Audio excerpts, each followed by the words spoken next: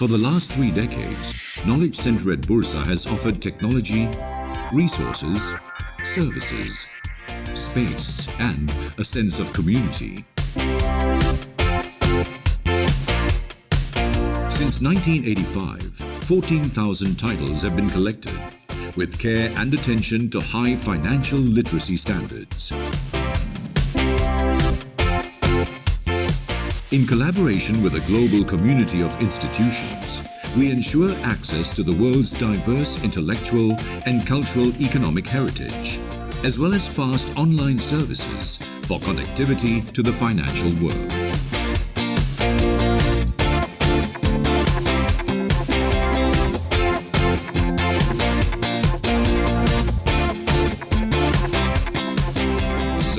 Bursa Malaysia community and beyond, Knowledge Center at Bursa empowers you in your trading and investment analysis research.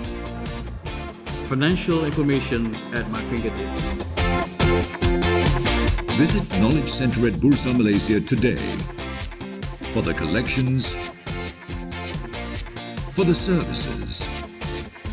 for the sense of community.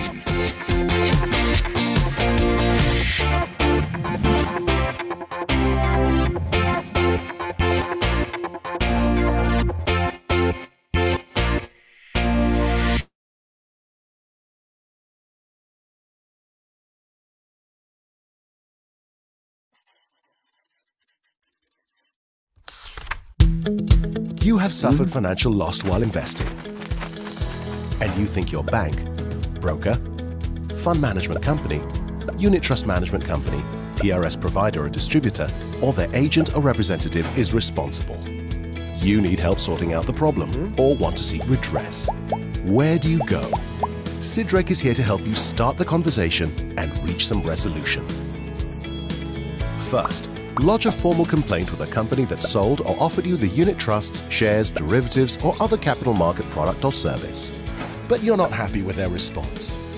You have 180 days from their final written reply to come to Sidreg. Or if there's no written response, and it's been 90 days since you wrote to them, you don't need to wait longer. You may come to Sidrek even though you haven't received a final response yet. Sidrek first checks the eligibility of your claim. For example, is it within Sidrek's claim limit? Is it against a member of Sidrek? And so forth. If your case is eligible, we begin the dispute resolution process. All information in this process is confidential. We get both you and the member you're complaining against to sit with us and have a conversation. Documents and information will be required from both parties. No lawyers are allowed in the mediation process as we keep the discussions informal and private. Our mediators are impartial and will hear both sides out and help parties communicate constructively towards resolving the dispute. Two outcomes are possible at this stage. Either both you and the member agree to a settlement or you don't.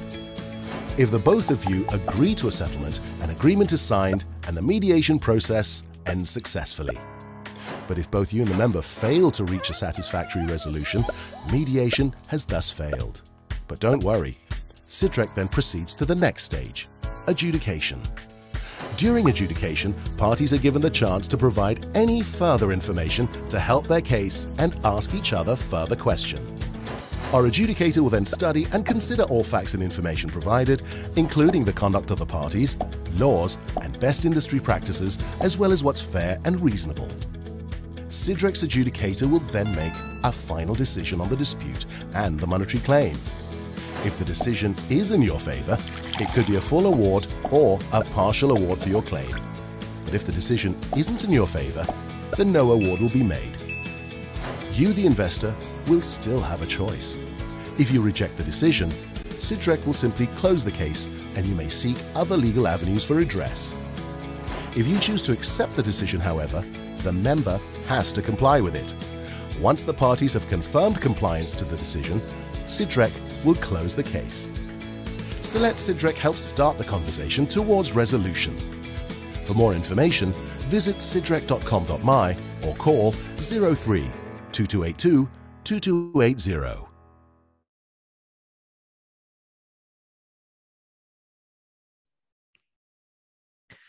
Hello，各位观众朋友们，大家晚上好！ 欢迎大家来到今天由 Bruce Sam Malaysia 所举办的线上讲座会。我们今天晚上的标题呢，就是如何评估股票。OK，所以我是宣祝是今天晚上的主持人，所以大家欢迎大家来到今天晚上的线上讲座会。那希望大家有个呃很愉快的开斋节的假期啊！所以我们现在又又呃回复了我们。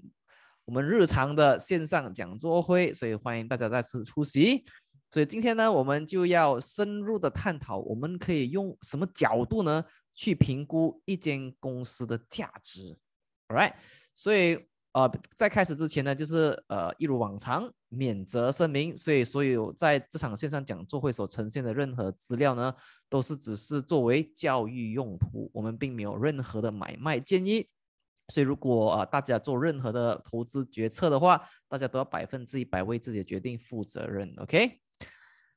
好的，让我今天简略的介绍今天晚上的主讲嘉宾，那就是呃 Ken Chow 周国斌老师。我们非常荣幸的有机会请到 Ken 老师来为我们大家分享今天的主题，就是如何评估股票。OK，那 Ken 老师呢是由呃，拉曼大学电子工程系毕业，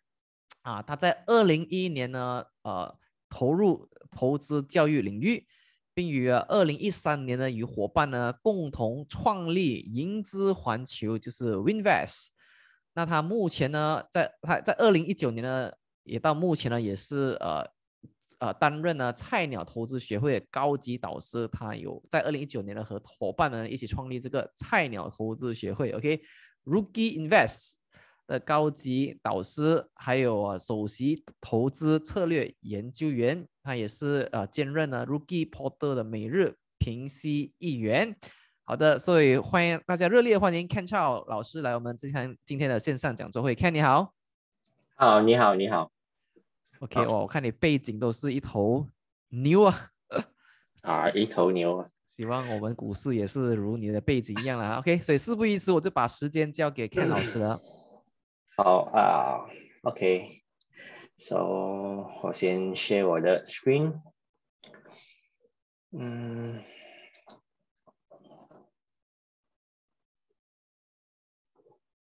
，OK，啊，相信大家看得到吧？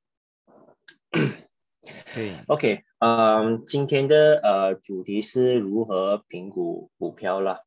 ，OK，呃也是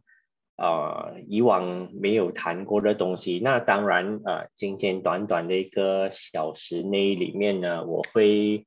以一个比较简单的一个方式去啊给大家去了解啊我们平时是如何去看股票了，OK，呃首先呢，因为我带回的一些呃讲的东西呢，我们会先用嗯这个什么呢？嗯，Glove，OK，Glove 的呃公司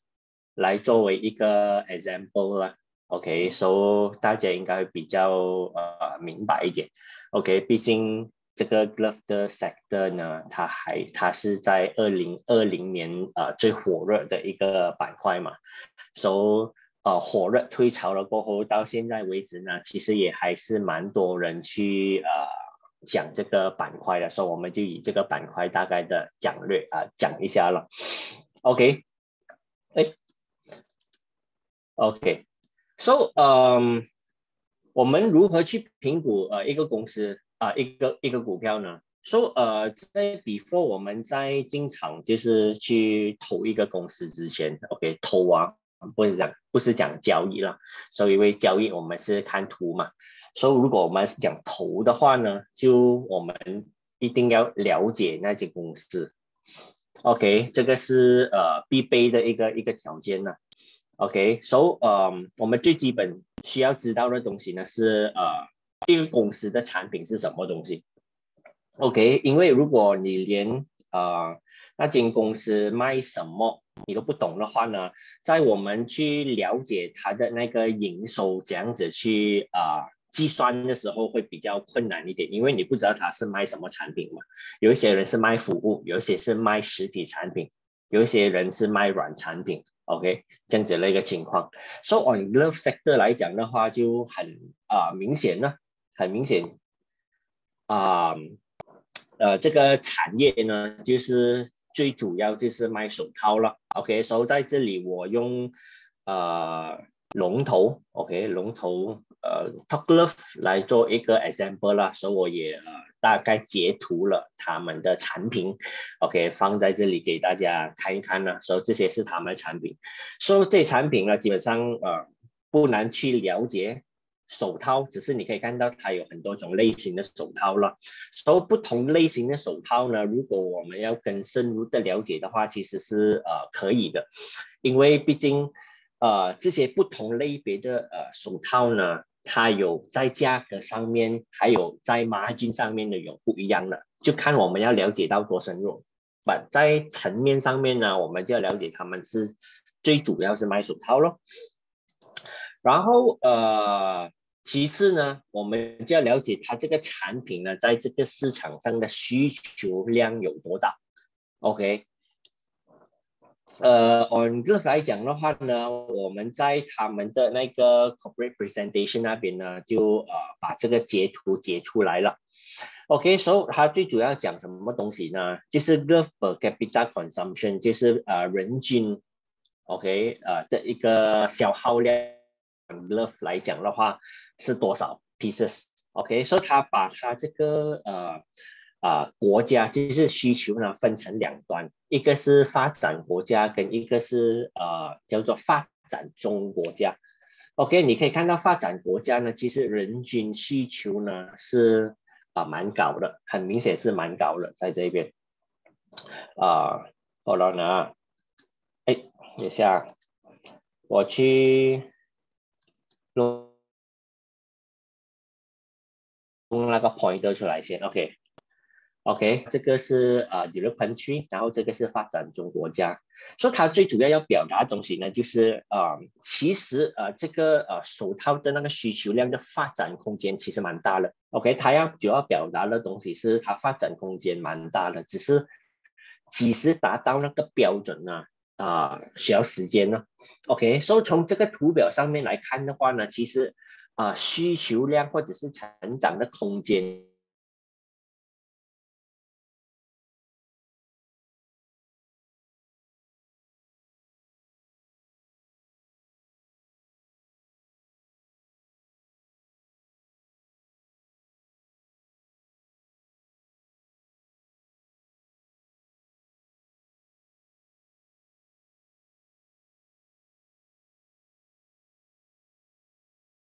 都在长期的那个，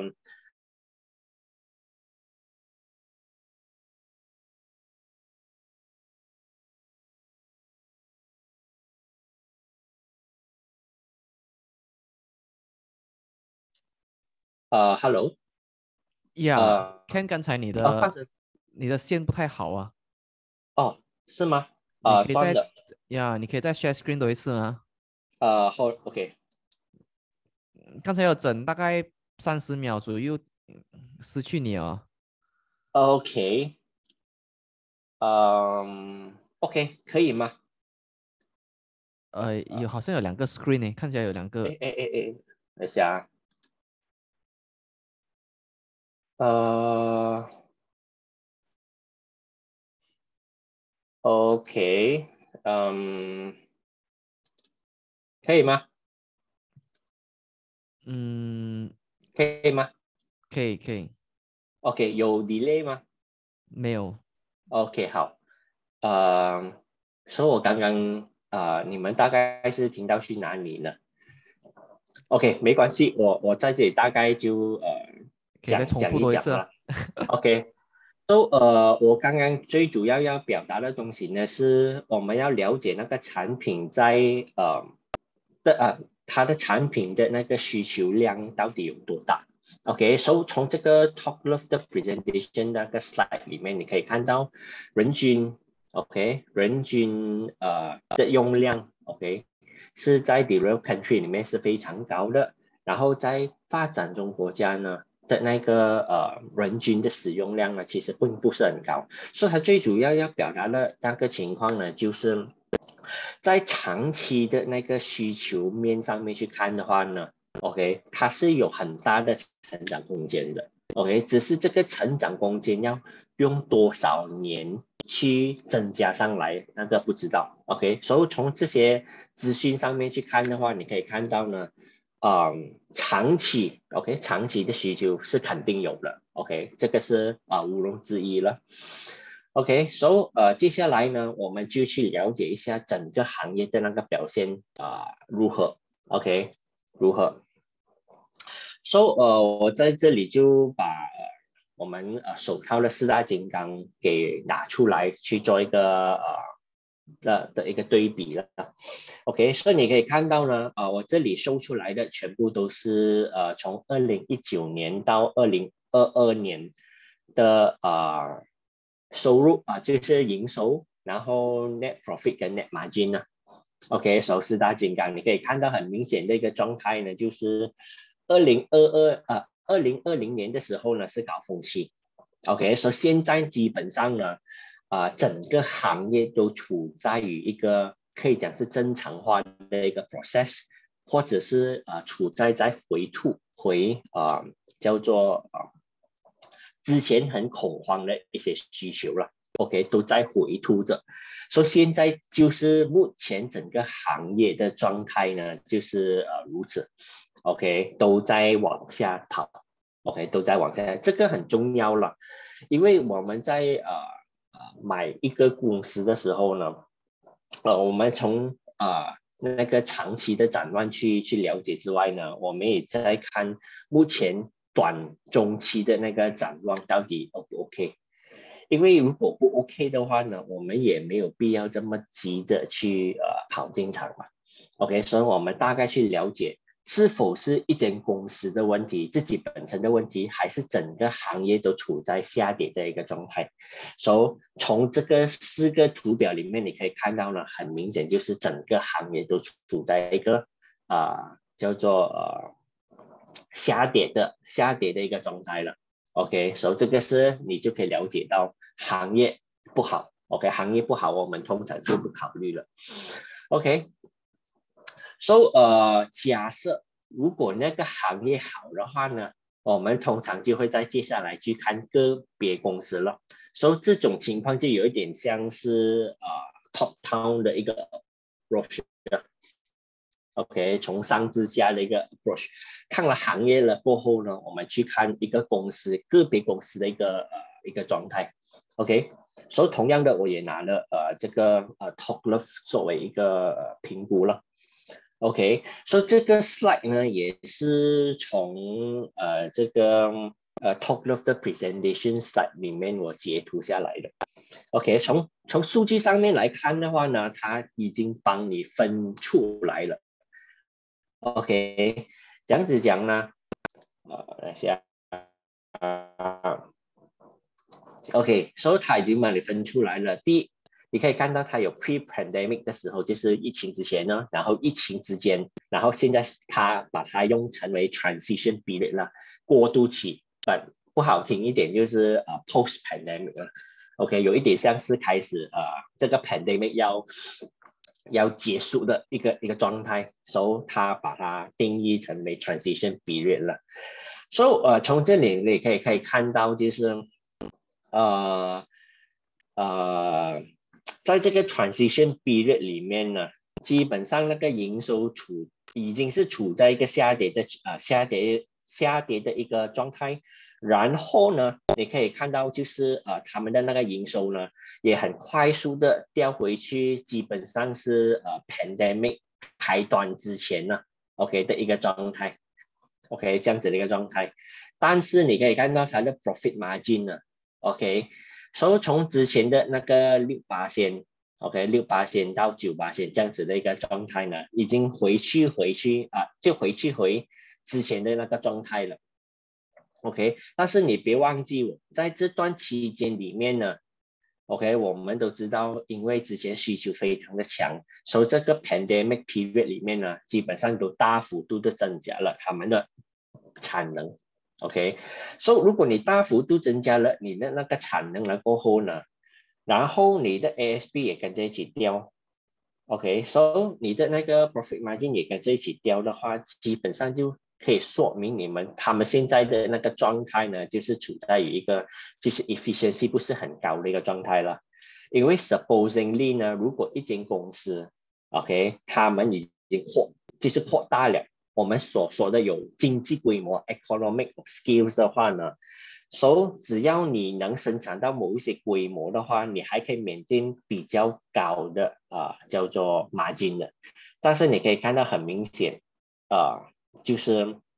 呃这个马金已经是大幅度的下跌了。OK，甚至是因为你的 revenue 比较比之前高啊，revenue 比之前高啊，但是你的马金也提不上来，所以已经是说明整体的那个 efficiency 已经 drop drop 了很多。OK，那当然，如果我们从啊过往来看的话呢，那至少一个好的地方就是在 pre-pandemic 到 pandemic 到 transition period 呢，他们现在还赚着钱，这个是好事来的。OK，so 至少他的赚钱能力啊没有变到了，没有因为这个疫情啊开始过度去啊，差差不多是 post pandemic 啊 pandemic 的话呢，这样他们还是能继续赚钱的话，那就证明啊，整间公司的那个赚钱能力啊还是可以了，OK 还是可以的。然后呢，呃，我们也可以去理解一下啊，管理层的经啊经验和能力，因为我们现在用的是啊 Top Love 来作为一个例子嘛，所以呃，我们很容易能看到的就是他们在那个呃 Annual Report 里面。OK，他们都会有跟你讲他们的 Board of Director 啊，他们的 MD 啊，OK，到底他们是呃呃什么经验、什么来头，在这个行业里面做了多少年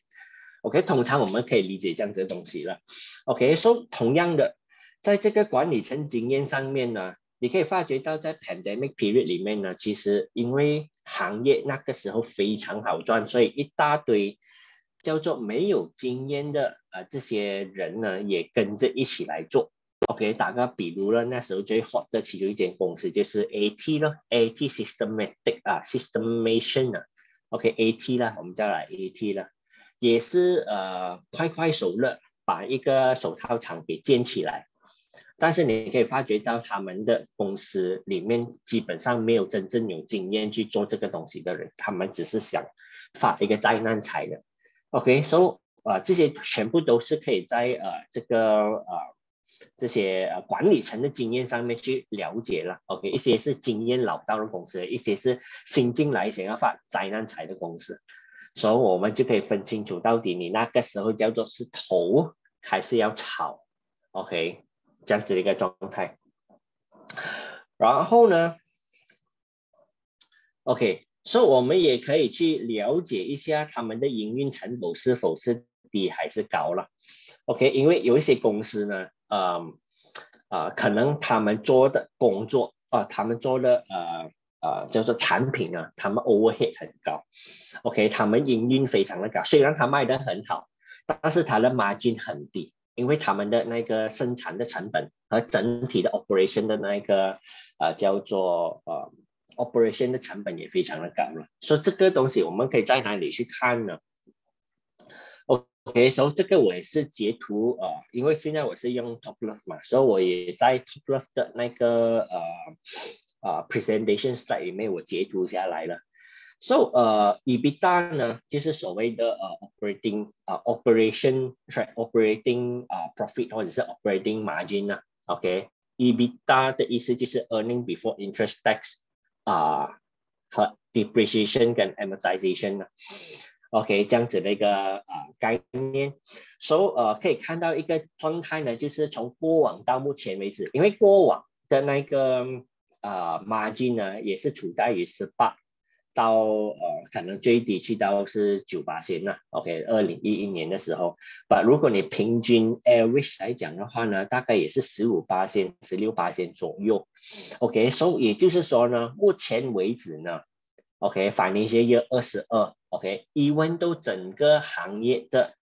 那个行情并不是说非常的好。OK，而且他们的那个呃营收或者 profit 也掉了下来，但是你可以看到他们的 margin 呢，啊其实是呃回去回啊，就是 pre-pandemic 或者是在它成长过程中里面的范围。OK，所以基本上你可以看到他们呃管控他们的那个营运成本是蛮 OK 的。OK，所以从数据上面去看呢，OK，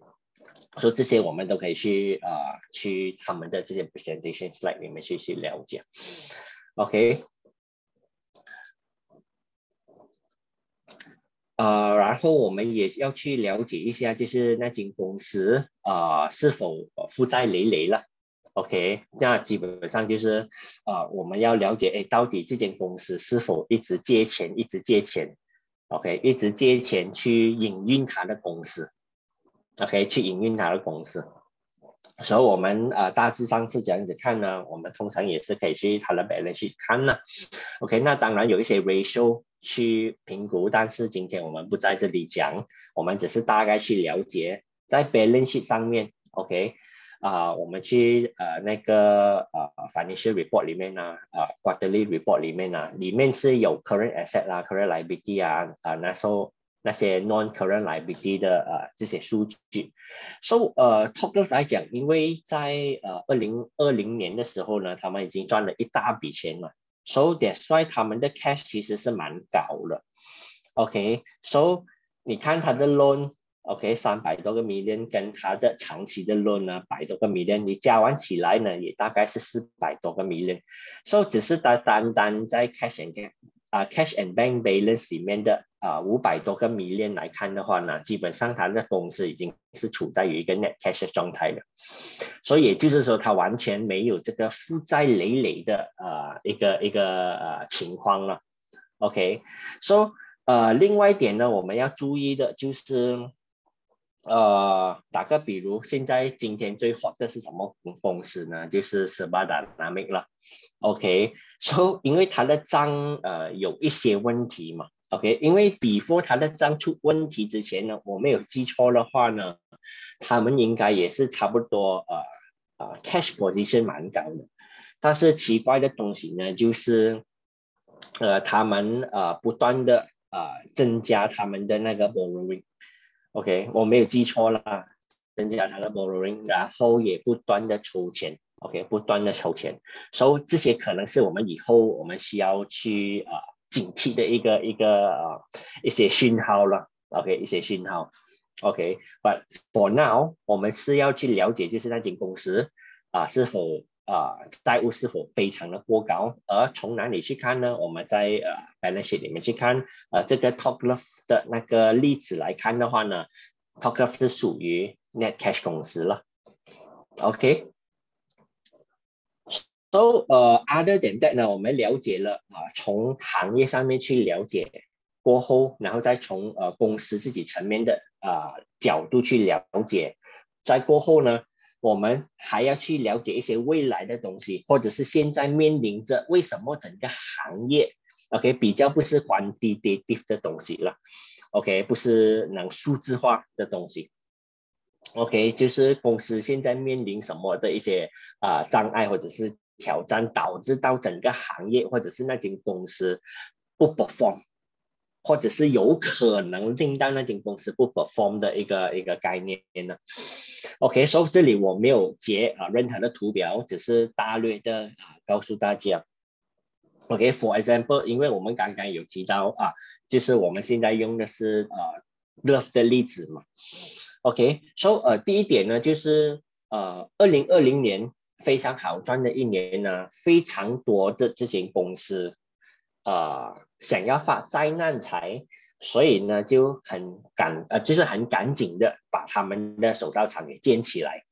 而这些老牌公司呢也很快速的加速的把他们的产能给推上来。OK，这个包括了在中国那个方面的需求啊，中国方面的那个供给端呢也增加了不少。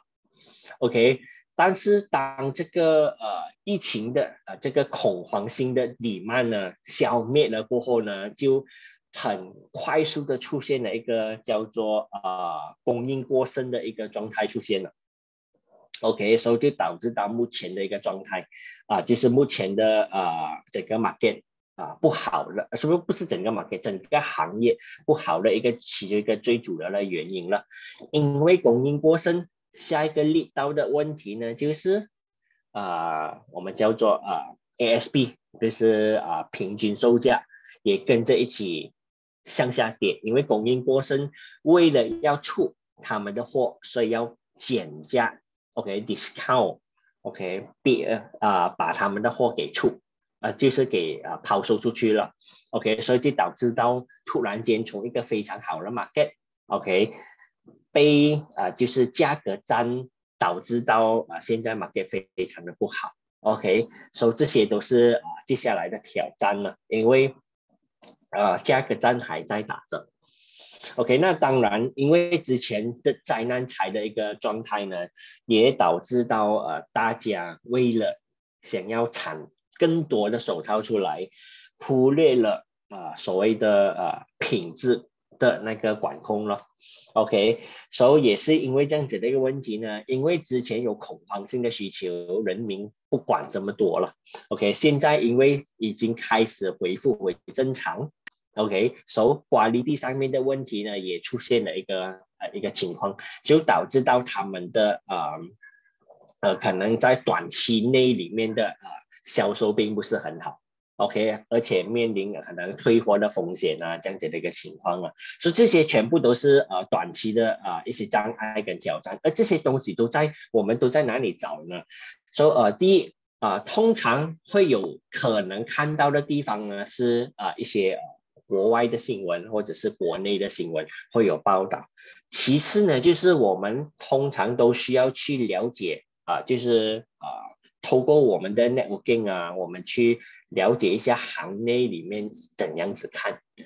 ，OK，所以这些都是啊每个人的那个 networking 不一样嘛，所以因为我们就是通过我们自己的那个平台，OK，我们的投资平台呢，OK，所以去啊不断的去啊去了解了目前行业，OK，问行家到底啊发生什么事情，OK，现在如何，OK，去了解。面临着什么问题，所以就知道到底现在能不能去投这种类型的公司了。OK，OK，After all this 了，OK，就是呃呃公司产品啊、需求啊这些全部我们了解了过后呢，到最后一个最重要的点了。OK，如果你发觉到哎行业不错、公司不错、一切都不错，但是。我该不该投呢？最重要的那个点是，到底现在我值不值得买进去嘛？为什么我会提到这个点呢？是因为呃，自从比如说 Love 从高位可能最高十多三十块掉下来，掉到目前为止可能剩下低过两块钱的时候，非常多的人就开始问，到底是不是时候啊进场 Love 啊这样子的一个一个概念呢？OK，所以得算我们需要去了解。这一系列的问题了过后，我们再去探讨下一个啊最主要的问题，到底它现在股票的那个价格，OK 是否啊已经到去到了一个值得去吸纳的一个一个水平了？OK，所以这个才是我们需要去了解的嘛，不然的话，我知道你公司非常的好，前景非常的好，一切都很好，但是你现在你价值可能啊未来的价值。我看到了，可能你十块钱，但是你现在要卖我一百块的话，我也没有理由啊这样子冲进去嘛。OK，所以这个已经是啊不理性的一个情况了。也是因为这样子不理性的情况，我们在二零二零二零年到二零二一年经历了过后呢，到现在美联储局开始啊，不美联储局应该是说全球资金开始啊。叫做退场的时候呢，这些所谓的 speculation money 就已经开始推出来了。所以也就是说，你之前买贵了的话呢，那你基本上现在就要开始上货了。OK，所以不要买贵是很重要的。OK，所以我们来讲一讲这个啊，到底股票是否呃值得现在的价格买入了？OK，so 呃，我这里不会啊提。啊，就是比较复杂的，OK，复杂的啊这些啊股值上面的比率了，OK，只是我们重新的探讨你们都了解的，OK，这些啊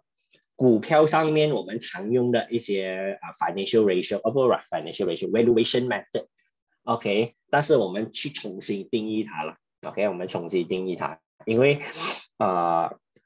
在行情好的时候呢，太多的这些人呢，OK，市场的市场的啊交易者或者是呃投资者呢，去滥用了这些比率，OK，来去呃可能炒作股票啊，OK，这样子的一个情况。OK，so 呃，股值比率里面呢，我们可以分成很多种。OK，so 其中一种我们最常用的就是权益价值倍数。OK，我们叫做啊 equity valuation 啊 equity valuation method 啦，这样子的一个情况。OK，呃，这个相信大家已经不陌生了啦，PE 已经是很泛滥了。OK，在我们 market 里面是很泛滥的一个呃一个倍数来的。OK，so 呃，那基本上是，嗯，它的那个呃 calculation 呢，就是用市值 market cap 除以它的呃 net profit，或者是你用股价除以你的每股盈余，OK，就是 earning per share 啦，一样的东西来的。OK，但是重点是在于啊，很多人用呃。叫做泛滥性的去呃运用它，是主要原因是它用在不不不对的不对的嗯公司上面，OK 不对的公司上面，OK 制造了一个一个梦想，OK 啊我的哦我们的一些一些投资的伙啊朋友呢，或者是呃 member 也经常说了，本来是市盈率呢，现在已经变成市梦率了。OK，已经在发梦了。OK，叫发啊，市市梦率了。OK，这样子的状态。So，呃，既然这个市盈率呢是用净利，它的那个 valuation 呢是用啊啊，sorry，它的这个 calculation 呢是用 earning 来去做计算的话呢，那很顾名思义，我们的最主要的首要条件，那间公司一定要有啊 positive net earning。OK，一定要有 positive net earning 了。OK，如果一间公司你连那个 earning 都没有，或者是你那个 earning 是一次性的话呢，那基本上你的 earning 啊叫做是 fake 的，是假的。OK，所以我们根本就不会用 BE 来去评估一间公司到底是否是这么便宜。OK，所以我们首先一定要有啊 positive 的那个 earning 咯。所以呃，其次呢，通常呃，我们比较多会运用在一个公司啊，就是它的生命周期，你可以讲是它的 earning stability 了。OK，因为一个成熟的一间公司的话呢，通常他们的 earning 呢是稳定的。OK，只有在稳定的盈利之下呢，你用市盈率来去评估它是否稳定，是啊，是否便宜。才比较有价值一点。那如果你这个所谓的 PE 值，OK，是 based on 一些短期的盈利来去评估的话呢，那基本上就失准了。OK，这个是很明显的嘛。就打个比如，你最多可能你最赚钱的那个状态呢，就是啊，可能一两个季度吧。所以过后呢，基本上就打回原形的话呢，然后你告诉我。在半年内里面，哦，它的那个 P 值现在才三倍四倍，很便宜啊。OK，呃，这个就基本上是叫做呃不不 make sense 啊。OK，所以通常我们都应该用在啊叫做稳定的公司。OK，稳定的公司会比较好一点。OK，因为你成熟的话，你比较容易去做啊 prediction。哇，它你的那个市值或者是你的股价到底目前是否是便宜了？然后呢，同样的，呃，我们得到了这个呃呃叫做数值了过后呢，我们怎样子知道你这个数值是叫做便宜还是不便宜呢？OK，没有对比，就我们讲没有对比就没有伤害嘛。OK，所所谓对比呢，就是你要对比回去你自己本身，OK，自己本身呢，所谓历史的本益比的波动了，OK，所以历史本益比的波动基本上就是代表 market 里面对于这个行业这个公司，OK，在呃叫做啊过往以来 OK，他们能接受的范围到底在哪里？OK，能接受啊，不是代表你便宜啊，是市场对你这种公司，OK，你这种公司在历史告诉你，OK，他们能接受的范围到底在哪里？OK，所以这个范围不是我们讲 Holy Grail 啦，就是啊，一定是这样子的，不会偏离的。但是我们知道那个范围。OK，所以我们就比较容易的去评估目前的股价是属于在什么范围里面。OK，同样的呃行业也是一样了。现在行业整个 market 在给这个行业的范围是多少？OK，不是每个人一样的，我们通常都是落拿平均的。OK，或者是同类股的平均之类了。OK，所以这个是呃市盈率，我们要知道的东西最简单，给你们知道，我们重新去评估它。OK，然后其次呢，我们也会有呃，哎，还没有到呃，就是我这里有用到一个呃大概的一个呃 example 啦。OK，所以同样我也是打 love 法，因为之前在这一波的时候呢，就是二零二零年的时候呢，十个九个跟我说。哎，现在啊，那个个很便宜啊，它在跌的时候啊，很便宜啊。因为为什么呢？大家都是在看前，就是在看我们叫做 rear mirror，就是看后视镜。后视镜就是代表啊，你的盈利是值钱的，你不是看未来的盈利嘛？OK，所以我们要看未来的盈利来去判断你到底目前是不是便宜嘛？OK，所以当时候。以温度，它的那个啊所谓的市盈率或者是本一比 P/E 值呢，OK 掉到去，比如说呃四倍啊五倍啊，它现在还是处在于大概四倍或者五倍左右了，OK 这样子的情况也不代表它是便宜的哦，OK 也不代表它是便宜的，OK 所以至少我们要这样子去做呢，打个比如目前目前的状态呢。For top love 来讲，OK，我们去了解了目前啊整个行业的状态如何啊，他们未来的啊未来的需求还是 OK 的，所以也就是说他们不会死了。So 呃，但是他们 normalize 了过后的那个啊 earning 到底是几十啊几十啊叫做啊便不便宜呢？或者是他 normalize 过后的 earning 到底有多少呢？所以我们现在就是要去判断嘛，所以我们不急着去进场，OK？我们去判断，这样子判断呢？第一，我们现在等咯，等到底那个呃，love 的行业的 earning 几时见底？OK？几时见底？所以如果它见底了过后，它不跌下去了，不继续跌了，它稳定下来了过后呢，那我们就可以慢慢的好啊，就是慢慢的评估回去了。打个比如哦，它现在稳定在呃，可能呃一个季度整啊二十个 million，我们看回去啊。打个比如，哎啊，这个比较容易一点。OK，打个比如，现在它 profit master tax 如果它稳定下来是一百个 million 的，以后都是一百个 million 的。OK，或者是你已经 average 到。有 margin of safety 的，比如说我预计你已经会会回去回 pre-pandemic 的时候七十五个 million，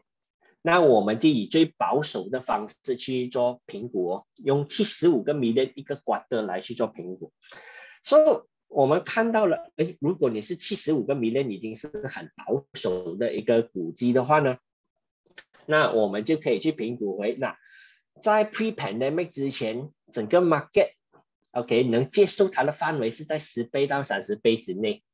OK，那如果我们要保守了来看的话呢，我们可以用十倍来去做一个 benchmark。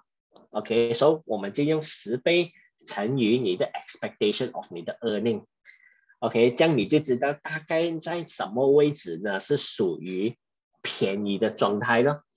OK，所以那个时候我们才去考量到底要不要重新的进场。OK，所以现在根本是不急的，不要看目前的状态，看未来的状态去做一些 estimation，去做评估。OK，所以这个是按啊 PE 值了。OK，那当然啊，不同的行业呢有不同的呃叫做市场能接受的范围了。就比如说哈丹能接受的范围，市场能接受范围在十七到四十一倍之间。OK，这样子的一个状态。为什么会比 top graph 高呢？那当然有很多啊不同的 expect 会导致到它的估值比 top graph 高。OK，有很多不同的 expect 啦，但是这个是你能很快速看到的呃他们的范围到底是在哪里。然后其次呢，呃，我们也会有看到来啊 PEG 啊比例了，这个也现在在 market 里面也算是蛮啊啊平时也会看到的东西了。OK，相信呃你们有在 market 里面打滚的话呢，应该是对这个 PEG 比率呢并不陌生。OK，所以基本上就是用市盈率呢除以预期的啊啊 earning per share 成长率了。OK，so 啊。So 呃，同样的，因为你都 involve 你的 calculation 有 involve 到 earning 的话呢，也就是说呢，你这间公司你一定要有真净收益率啊，净收益，OK，就是啊 positive net earning 啦，你一定要有。So 呃，我们通常会用在什么啊类型的公司呢？都是处在于我们叫做 growth stock 啦，OK，成长型的股票。OK，是有型的股票。所以在二零二一年的时候呢，你可以发觉到呃很多股票他们的叫做呃 earning per share，呃不 earning per share，他们的市盈率 PE 值呢都非常的高，尤其是科技板块的公司。OK，尤其是科技板块公司。So，嗯，因为为什么他们会比较高呢？最主要的原因就是啊，大家预期他们的成长都非常的高。OK，快速的高或者是 exponentially growth 的那一种，OK，快速成长的，所以他们的本益比就非常非常的高。那当然有很多问题出现在，啊，他们的预期呢，啊，严重的过高，过高在一种程度，我们叫做啊，你不是属于 sustainable growth。OK，sustainable growth 就是打个比如。呃，你的 growth rate，你认为它 growth rate 基本上是五十倍、一百倍的那一种，OK，所以是很呃不理性的一个 estimation 呢，OK，不理性的 estimation，所以是导致到呃现在有所谓的杀股值的状态出现了，OK，而且有很多基本上是收益率都不稳定的，OK，收益率都不稳定。So，呃，简单来讲呢，我这里只是做一个简单的一个图表了，OK，So，并非呃一百八先是用这样子的一个 benchmark，但是可以作为一个 reference，OK，作为一个 reference。呃，So，同样的，你可以看到呢，如果你同样股价是一百块的话呢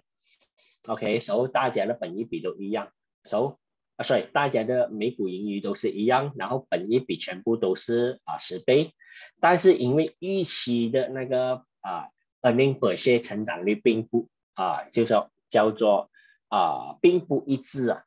所以就导致到同类型的公司里面呢，有出啊出现有合理的或者是相对低估的公司。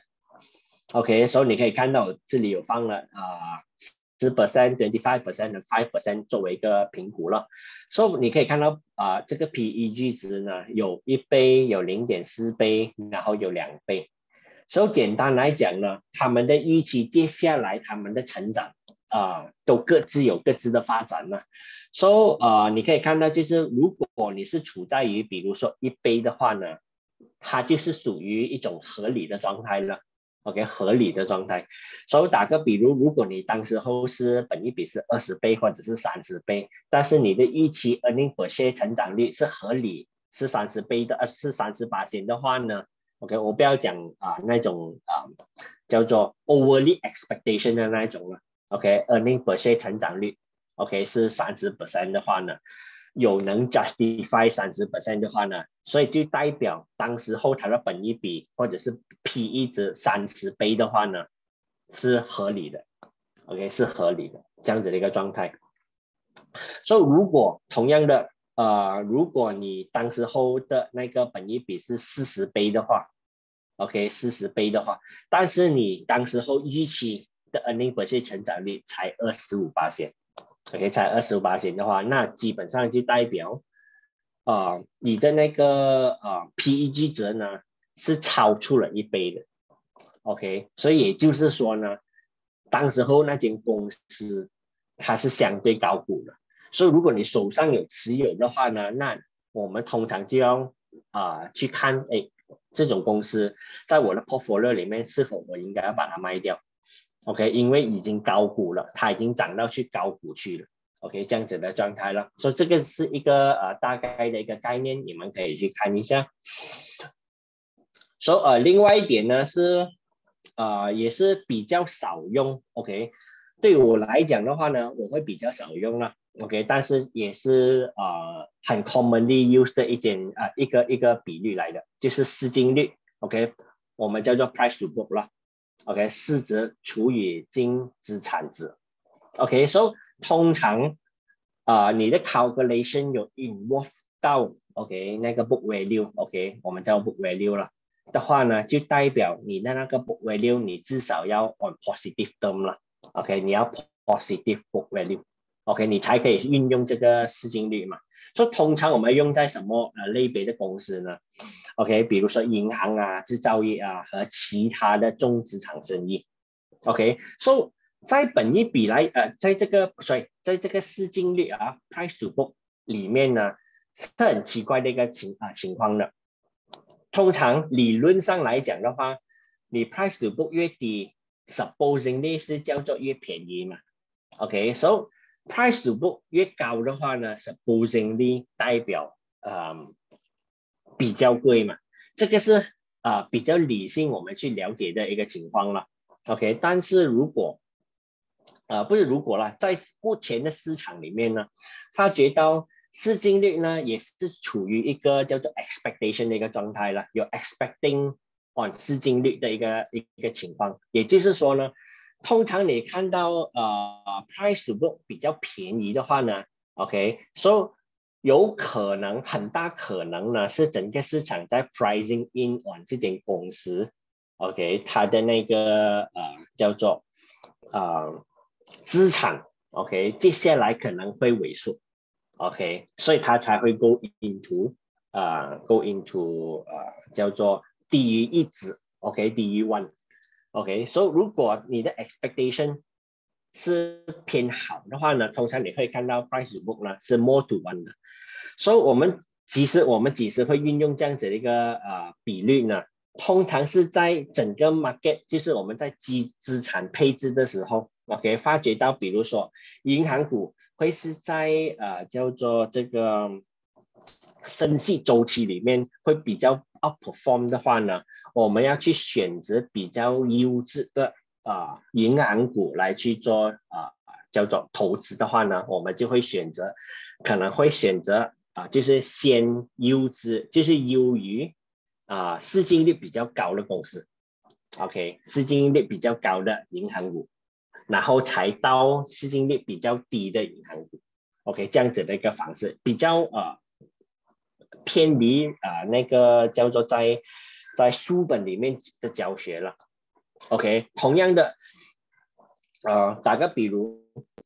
我这里也做了一个一个呃 s e r v e Dynamic 的一个 Price Book 的一个图表了，OK，Price Book 的一个图表，所以你可以发觉到呢。在它出事之前呢，OK，所以整个 market 对于它，它是一个我们叫做啊资产，它是一个非常好的股票的时候呢，整个 market 给它的那个那个 valuation 呢，OK 是 price to book 三点五倍的，OK 三点五倍，就是啊因为 expectation 它的赚钱能力非常强嘛，所以它接下来资产的那个成长。空间是非常大的，所以大家就给一个 premium 给他，所以直到他出事的时候呢，掉到啊 before 今天开始啊，OK，我这个是他在这里的时候，他还是我们叫 suspended 的时候啊，已经是掉到零点三倍，OK，已经掉到零点三倍，也就是说呢，其实整个 market 的那个 expectation on 它的资产会萎缩到很多力。好，OK，所以整个市场再给一个 discount on 它的 book value，OK，是零点三倍，也就是说 discount 七十八行下来，OK，所以这样子的一个状态了。So，啊，price to book 通常我们会是这样子去呃做评估，到底值还是不值咯。O k OK，所以呃，这里要讲的是啊、同样的，我们在运用这些啊、比率的时候呢，我们也可以要分成为啊、那个股票是属于价值性，OK，成长性还是周期性，OK。所以呃，先简单讲一个呃一个该呃它的那个定义先呢。说、按价值的股啊、公司的话呢，我们啊、通常的定义就是啊、那间公司的生意会属于是 mature 的，是成熟的。OK，so、它是成熟型的公司。so 呃，成长的稳定率，呃，所以成长的那个那个成长率呢，所以它的成长率是相对稳定的。OK，它的生意啊，growth 啊，已经是处在于一个啊 maturity 的一个状态了。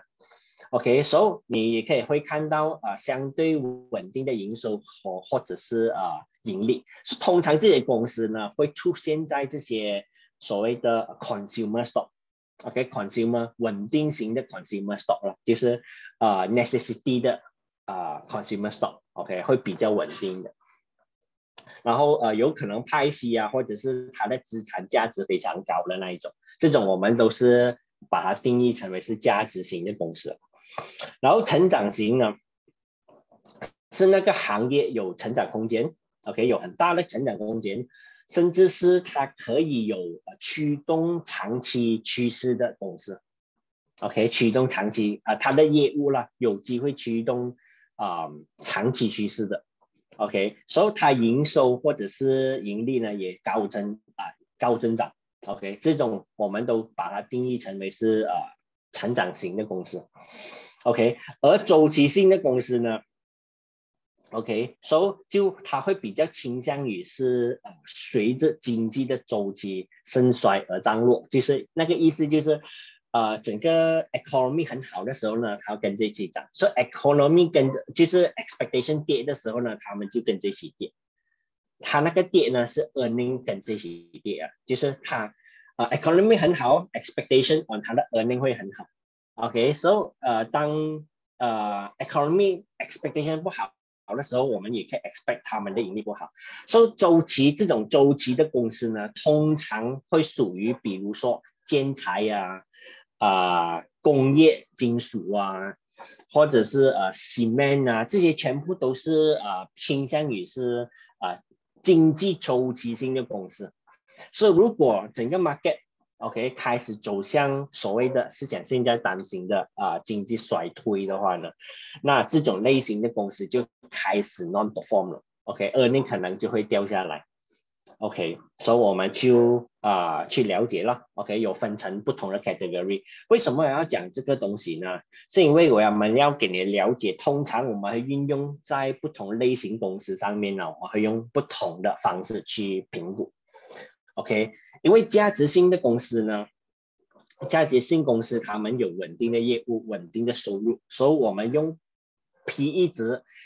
一问到我们用跟踪 PE 值，所谓跟踪 PE 值呢，是我们英文叫 trailing PE 啦，就是我们可以看过往历史的 earning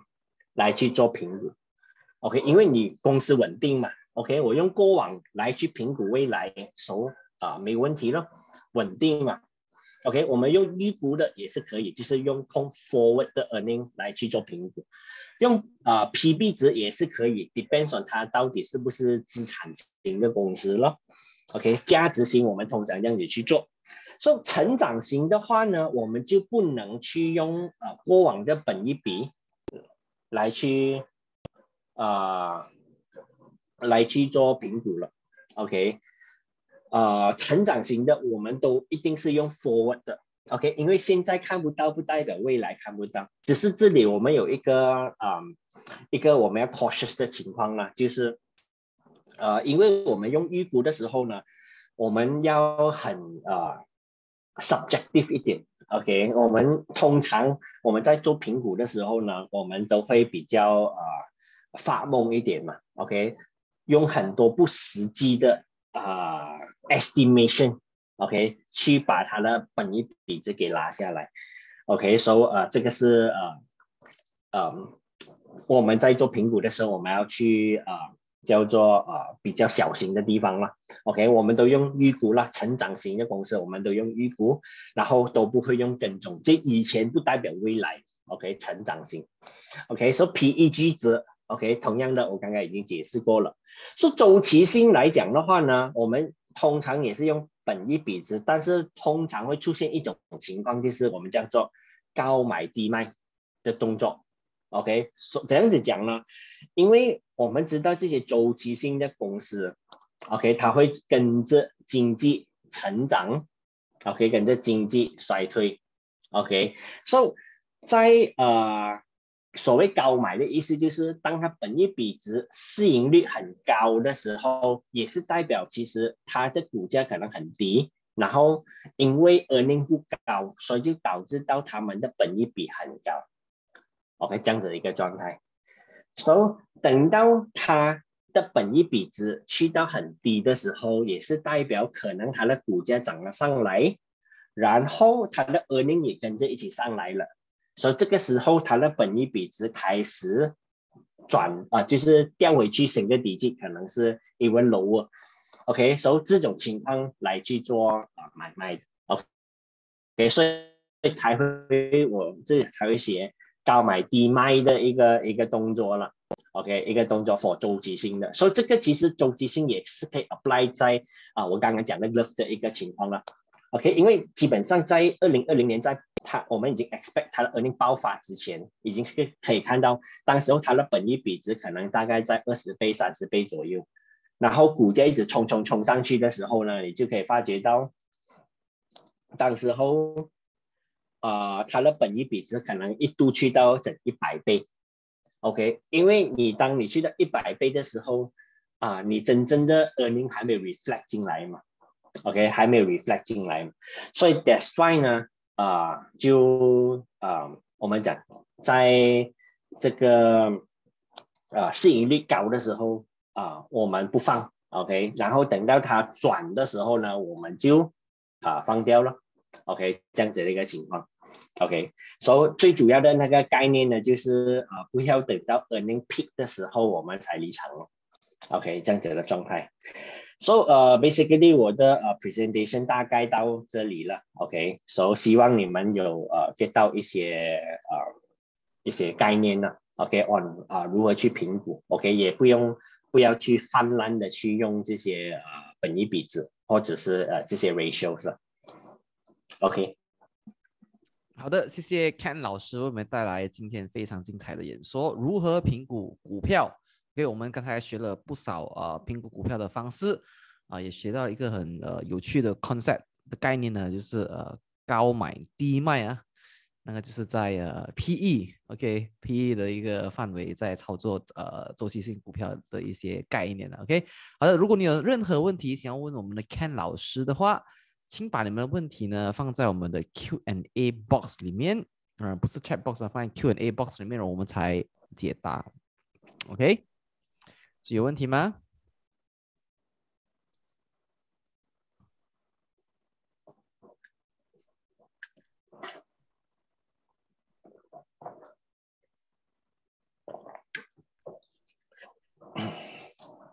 ？OK，所以基本上呃大家都已经很破了了，OK，可以看得出。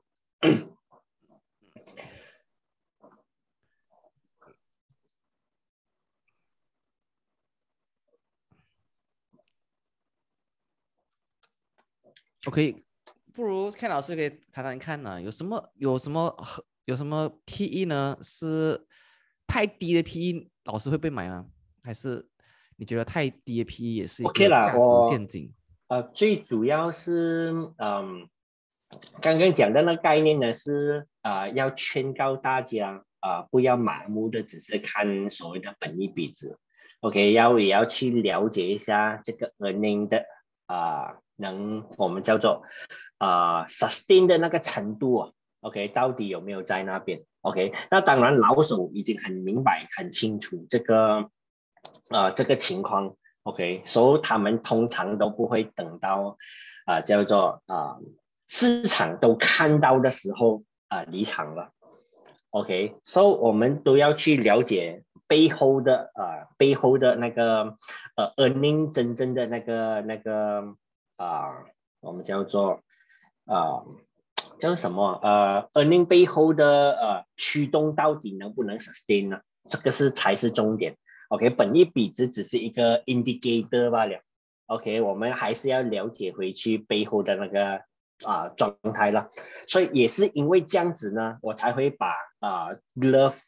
带进来。OK，因为呃到目前为止，大家可能还对 love 呃念念不忘。我相信已经很多人已经是醒觉了了，但是还会有一些啊、呃市场上的一些投资者呢啊、呃还没有醒觉，OK 还没有醒觉，所以呃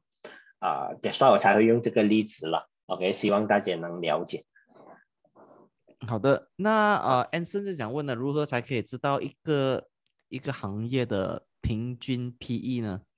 ？OK，嗯，你现因为现在呃网络上面的呃资讯其实蛮发达的，所、以呃你们也可以去呃比如说呃那个我现在有用这个呃 Stock Pick to You，啊不是 Stock Stock Pick to You 不了，呃呃然后呢我也忘记叫什么名字了，啊、我 Stop Share 一下啊，我看回去我的啊、我的那个啊。我的那个图表。没问题。OK，呃、p i c k a stock，sorry，还是 pick a stock 啊？对 pick a stock。对，因为这个 pick a stock，呃呃，算是 developer 我是认识了。OK，他们的 web developer，but 呃，我觉得他们做的也不错，呃，里面也是也是有一些资讯，所以你们也可以在里面去呃 click，OK，click、那个嗯。他们的 chart 啦，OK，他们有 show PE 的呃 ratio 的 chart 啦，PB 的 ratio 的 chart 啦，可以在那边去看它历史的那个呃范围了，OK，去做一个简单的评估了。那当然，我应该要多次的强调，这些所有的这些 analysis tools 呢，只是呃第一个 filter 罢了，OK，第一个 filter 罢了，OK，到最后我们还是要了解回去。啊、它所有 calculation 里面的 variables，OK，、到底有没有呃更深层的意义，或者是有呃需要去呃深入了解的状态了，OK，这个才是重点。不然你只是看到我便宜你就买的话呢，这样我可以讲你中枪的机会率非常的高，OK，所、so, 以这个是第一个阶段，OK，第一个阶段你们需要去了解的，OK，就打个比如。就好像呃十八一样咯，OK，基本上呃十八 dynamic，嗯，基本上没有人会去呃叫做呃怀疑他，OK，有做假账的嫌疑，OK，没有人，OK，没有人，基本上是叫做连机构投资者也中枪了，OK 的一个一个一个情况了，所以也就是说呢，呃。能呈现出来的数字我们要看，但是不能尽信。OK，这样子的状态，嗯嗯，OK，所以那些很专业的 fund managers 都可能中国强，所以啊，有时候嘛就是不能，我们不能只是了解，我不能只是看那个 PE 来做投资嗯决定，我们还要知道背后的很多嗯细节了哈，很多基本面的细节。OK 啊，记得是 pick a stock 啊。OK，我嗯刚刚是啊、呃、讲错了，OK，大家就不要见怪了，OK，说、so, OK，因为可能都啊、呃、已经不在了啊、呃、一些网站。啊，OK，嗯，OK，好，明白。那啊、呃，接下来的问题呢，就是啊、呃，刚才我们提到可能价值陷阱问题嘛，接着谈谈一下，啊、呃，你觉得科技股呢是用哪一个 metric 来衡量会比较好呢？呃，那当然，呃，科技股有成长嘛，所、so, 以呃，PEG 值是 confirm 啊、是一个很好的一个 matrix 啦。But 呃，重点 OK 是出在于它其中一个 variables expectation on earning per share growth。OK，这个是呃最主要我们要琢磨的一个地方。OK，比如说你再看一个呃，比如 IB 的。报告里面，他会告诉你啊，为什么他的那个啊叫做本益比值可以 sustain 这么高 OK，你就看他怎样子 justify，而你 buy 不 buy 他 justify 的方式了。打个比如，他告诉你，OK，我们已经很 confirm 了，他会建啊 factory two、factory three，order 已经 confirm 了。So when 是几个 factory？OK，或者是这几个厂房已经是啊，就是会在 expectation 几时 go into production，ramp up production maximum capacity 的时候，OK，你 expectation 的 earning 会多少？OK，你能不能 justify 呢？所以你这样子大概算了过后，你就可以 expect 啊，就是推回去，你就可以发觉到，哎，你这个 growth rate，OK，可能两到三年的 growth rate 是可以 justify 的，这样你就知道它现在的啊本益比或者市盈率是可以 justify 的，OK，那当然呃能市场能接受和不接受呢，也很。呃，取决于市场的情绪了，我们叫做呃叫做 risk appetite 了。OK，所以 risk appetite 高的时候呢，那当然整个 market 对于呃叫做合理的价格能接受。所谓合理的价格，就是我刚刚已经讲了，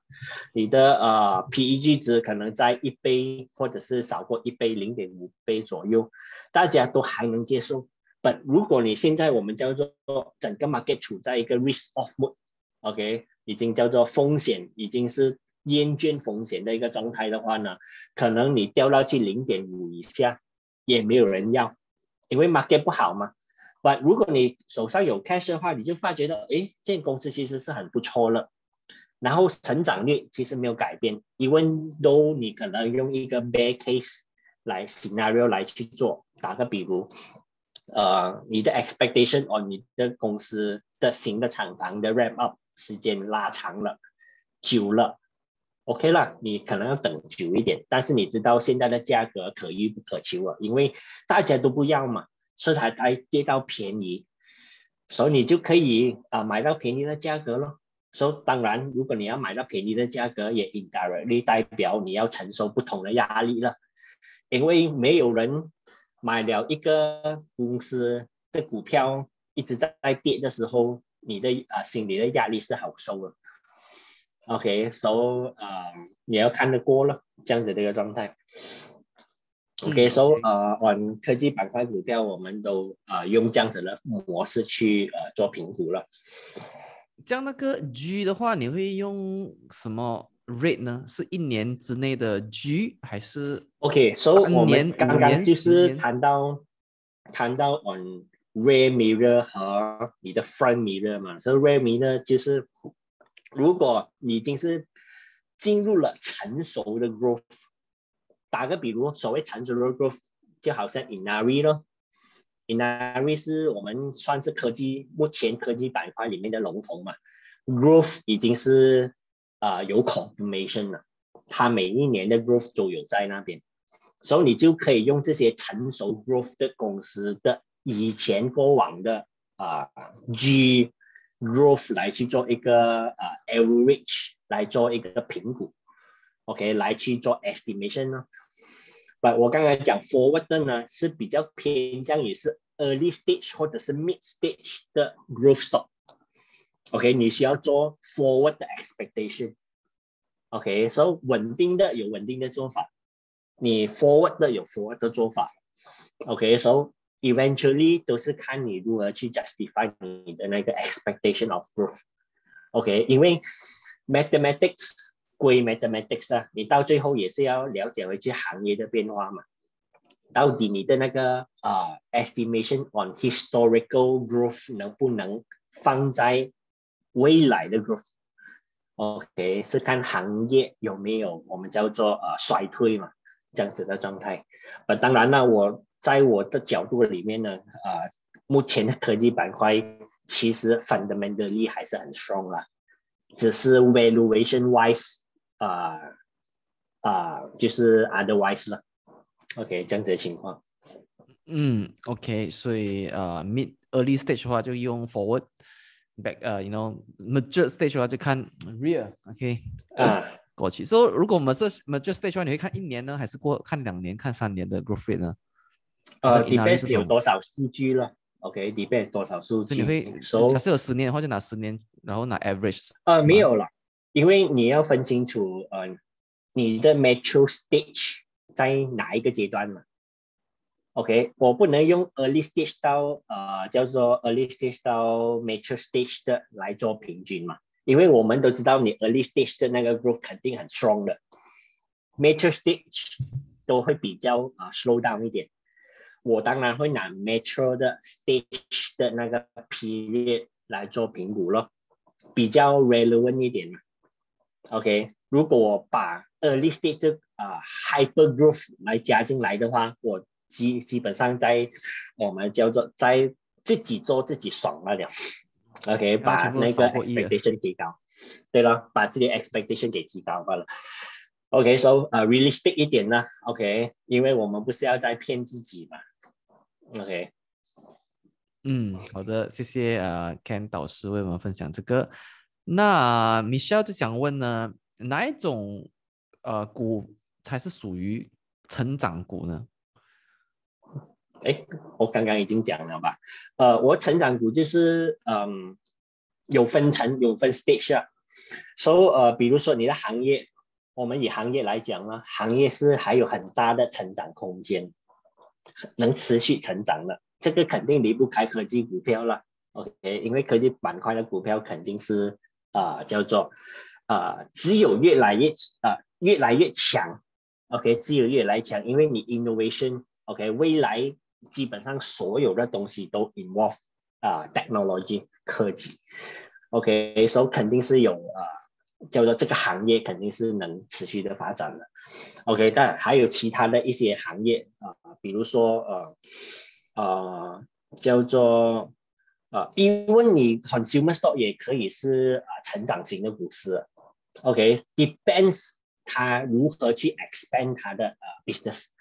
really depends on 他如何去 business，因为呃曾经有一个同僚跟我说，没有夕阳行业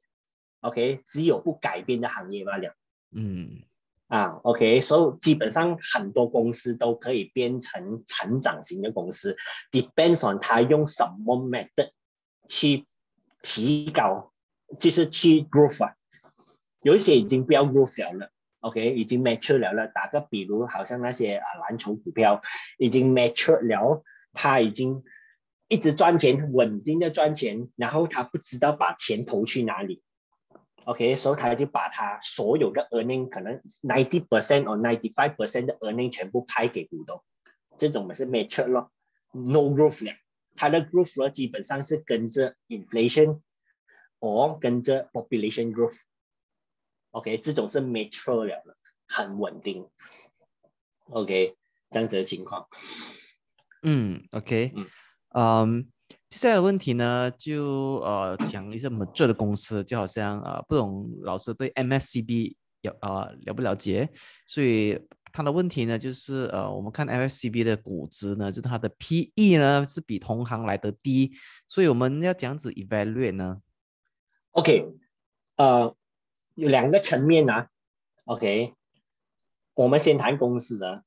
公司，你刚刚看到的东西呢，我们啊 even out 那个呃，我们叫做 earning 啦，它的 earning，因为它的 earning 的确有一点点季节性，有一点点季节性，因为它有 hydro 呃的那个呃呃叫做发电啊水流水流量啊，啊水流量，水流量的 peak 呃 season 啊，啊，它有 peak season 跟啊比较 low 的 season 啊，所以它会有一些呃啊波动性，它有一些波动性，所以它近期也做了一些呃叫做呃进入另外一个行业了，我没有记错是呃 oleo cam 呃 oleo 啊叫做呃，oil 什么？啊，oil agriculture 啊的一个行业了，所以这个也是另外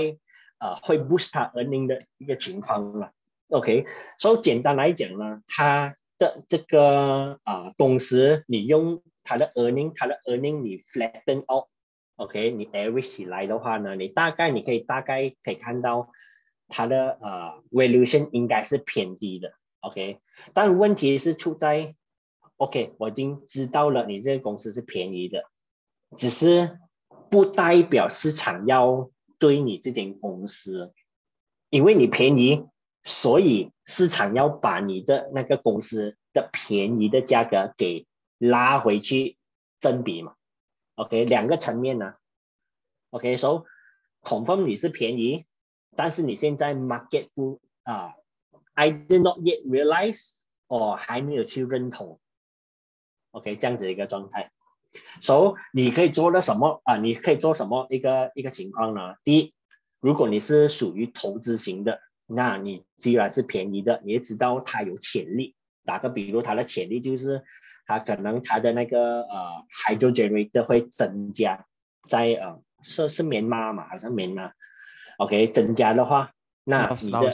啊，sorry loss，OK loss 增加的话，那基本上你的呃那个 earning 肯定会提高了嘛。OK，所以你是很稳定的 utility 公司了，所以现在你又加入一个新的一个呃新的一个 segment 进来，so basically 我可以 expect 啊你会有进入另外一个层次的 growth 了，OK，so 你只是需要等待 market 去 realize 它罢了，OK，so 简单来讲就是啊我已经刚刚已经讲了，我会先把它的 earning 给啊。啊，flatten out 先。，OK，就是因为你有 high 跟 peak 嘛，所以你有呃一个高一个低的时候嘛，所以我就 average 起来，你是平均大概是多少？OK，来去做一个 estimation，然后 p o t e n t i o n roof 是多少？OK，加入你的那个啊 agree 啊 agree agree 的那个啊 oleo 的那个 business 加入进来到底是多少？所以我就可以做 estimation，OK，so 评估来讲的话，我就可以说哦，你这个 macb 是便宜的，OK。但是其实啊，就是啊，market 会 reflect 那个价值进来，我不知道，OK。所以我刚刚讲两个层面的事情嘛，OK。嗯，OK。呃，接下来来自七关的朋友，呃，他问题呢，我 try to 了解看呢，他是。应该是问，应该说呢，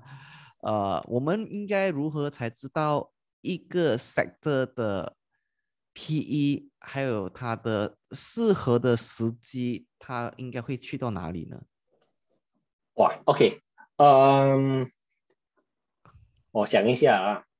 ，OK，呃，好像 Top 他扣的例子，Top 好像你这样子问的，OK，首先我是先解决第一个问题先，如何知道？呃，你整个 market，所以我第一件事我要做的事情就是，我要把所有同类的板块的公司全部 list out 出来了。OK，这这个是我 first job 我一定要做的东西嘛。所有你的 peers，OK，那个行业的全部 list out 出来，